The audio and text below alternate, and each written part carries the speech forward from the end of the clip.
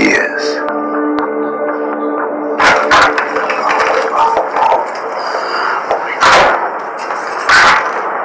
What the fuck, Ghost? You broke into my apartment? Tasha, have you lost your fucking mind? Excuse me? I said you must have fucking lost your mind if you got my son in your fucking daycare moving weight. Now he's your son. Because just a minute ago you were shoving a damn gun in the boy's face like he was one of your boys that came up short. Tasha, look me in my motherfucking eye and tell me that you don't have my son running product out of that damn daycare of yours. He's not moving product through the daycare. What the fuck, Tasha? And you know what? He's my child.